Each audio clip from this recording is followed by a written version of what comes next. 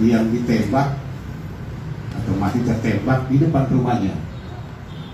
Sekitar pukul 18 uh, titik 10 menit 15 menit pada saat itu berdasarkan keterangan saksi yang pada saat itu mendengar tembakan baik itu istrinya maupun juga tetangga yang mendengar adanya bunyi tembakan kemudian menemukan ada orang tergeletak di depan rumahnya. Setelah diketahui bahwa yang tergeletak itu adalah saudara A yang luka tertembak pada saat dilarikan ke rumah sakit meninggal dunia di rumah sakit. Memang ada beberapa kendala pada saat itu yang dihadapi oleh teman-teman penyidik karena Kapolda dengan cepat mengantusias dengan adanya uh, kejadian ini untuk memerintahkan Kapolres Metro Kota Tangerang di backup oleh Ditkrim Polda Metro Jaya membentuk tim.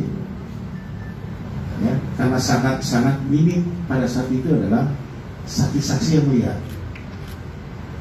kejadian penembakan tersebut sangat minim. Sehingga dibentuk tim. Alhamdulillah dalam kurun waktu nggak sampai uh, satu minggu ya berhasil kita ungkap. Pertama yang kita berhasil amankan adalah saudara M. Ini adalah yang menginisiator kejadian ini. Dia yang menginisiasi dia aktor intelektualnya ya. Hari Kamis yang lalu kita amankan. Yang bersangkutan itu di daerah Serang Banten. Pada saat yang bersangkutan ada di rumah makan. Ini yang berhasil kita amankan saudara M. Alamatnya adalah di daerah e, Kecamatan Pinang, Kota Tangerang atau di Kelurahan Cepete Kota Tangerang. Pekerjaan sehari-hari adalah wira swasta. Dia pengusaha uh, angkutan untuk uh, di daerah Banten kemudian kemarin tanggal 27 kemarin baru kita amankan lagi dua orang tersangka yang pertama adalah saudara K jadi saudara K ini adalah eksekutornya yang melakukan penembakan terhadap korban. Bersama juga kita amankan di tempat yang sama di daerah uh, Serang. Ini inisialnya adalah saudara S. Ini adalah perannya sebagai joki yang menunggu di luar. Jadi eksekutornya adalah saudara K. Pada saat itu melihat korban, kemudian mendatangi korban dengan jarak 2 meter melakukan penembakan. Setelah itu melarikan diri sudah ditunggu oleh saudara S dengan menggunakan roda dua kita lihat depan ini. Kemudian melarikan diri. Jadi tiga orang tersangka yang sudah kita amankan. Yang pertama saudara M sebagai inisiator, kemudian saudara K sebagai eksekutornya, yang melakukan penembakan dan saudara S ini adalah jokinya atau pilotnya yang menunggu pada saat saudara K selesai melakukan eksekusi kemudian melarikan diri bersama-sama dengan saudara S. Nah tiga orang ini yang kita amankan. Hasil pemeriksaan ya, karena pasti bagaimana katanya motifnya seperti apa motifnya adalah dendam dendam pribadi terhadap si korban. Kita ketahui, saya sudah sampaikan kemarin bahwa korban ini memang bekerja sudah hampir sekitar 20 tahun sebagai paranormal. Ya, sering mengobati orang, juga paranormal. Rasa dendam ini karena ada dugaan memang kejadian sekitar tahun 2010 yang lalu. Pada saat itu istri daripada tersangka M ini berobat kepada korban. Ya. Yang kerjanya sebagai paranormal masang susuk pada saat itu. Tetapi yang terjadi adalah